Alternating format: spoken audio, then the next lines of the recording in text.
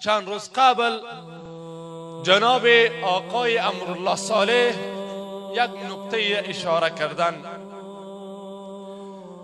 اینکه در ارتباط بر بیرق اسلام و بیرق فعلی که در افغانستان هست در ارتباط بر موضوع طالب و دولت یا صلحی که برای فعلا پیش رو هست که مذاکراتی که در بین افراد افغان صورت می‌گیرد در ارتباط بر اینها اشاراتی داشتند به طرف پرچم و بیرق افغانستان اشاره می‌کند در کنارش هست.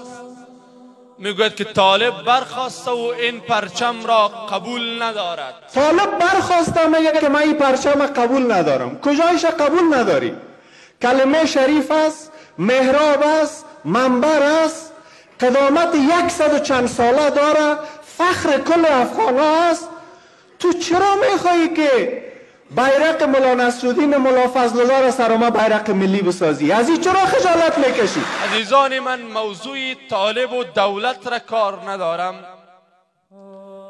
در اینجا مسئله عقیدتی و مسئله ایمانی خود را اشاره می کنم می فرمایند که این بیرق را کجایش را قبول نداری؟ کلمه شریف هست محراب هست منبر هست قدامت 140 ساله دارد فخر کل افغان ها هست. تو چرا میخوایی که بیرق ملا نصر الدین و ملا فضل الله را سر ما بیرق ملی بسازی؟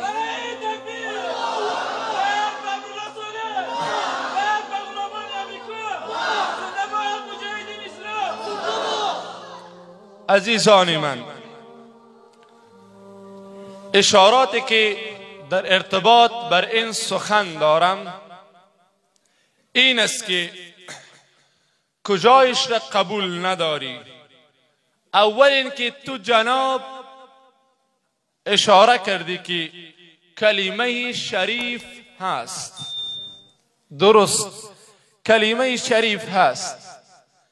نسبت به سخنانی که من از تو میشنوم و افعال و کرداری که در چشم و گوش من می‌رسد من بر امون باوری که تو نسبت به اون کلمه داری من شک دارم که تو آیا بر اون کلمه شریف که لا اله الا الله محمد رسول الله است آیا باور داری و یا خیر؟ اینکه کلمه شریف را کسی قبول کرد کسی که یقین به لا اله الا الله دارد. پیش پیش غیر الله سرخم نمی کند. تو سرخم کردی. بر اینکه کسی که یقین به لا اله الا الله دارد نظام غیر لا اله الا الله را نمیپذیرد تو پذیرفتی.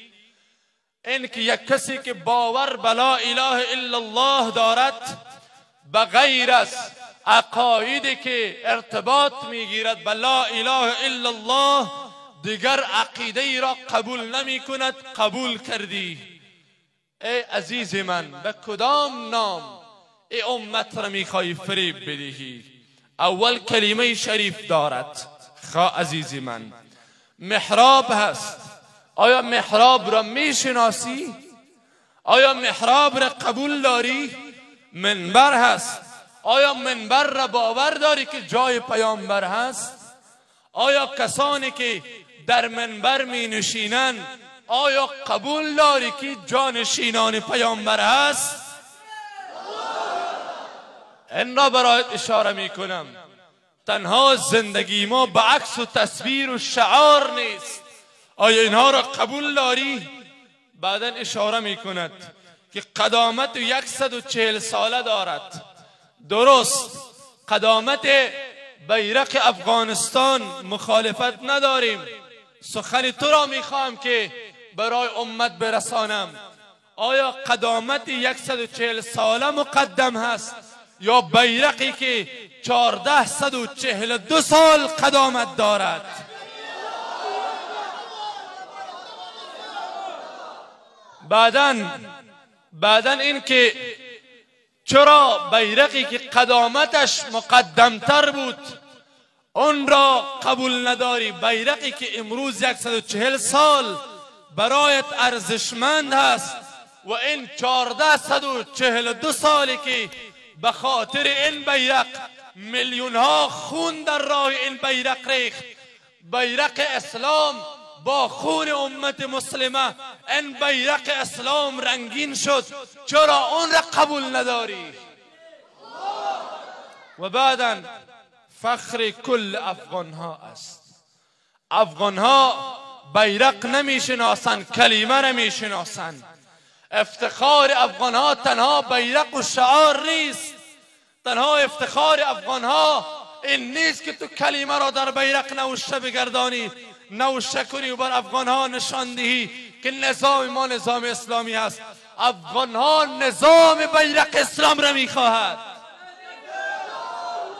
بعدا در آخر چیزی را که جناب اشاره کردن امر الله صالح. چرا میخوایی که بیرق مولا نصرالدین مولا فضل الله را سراما بیرق ملی بسازی؟ بیرق مولا نصرالدین مولا فضل الله را سراما بیرق ملی بسازی؟ از این چرا خجالت می‌کشی؟ تو چرا می‌خواهی که بیرق ملا نصرالدین و ملا فضل الله را سر ما بیرق ملی بسازی؟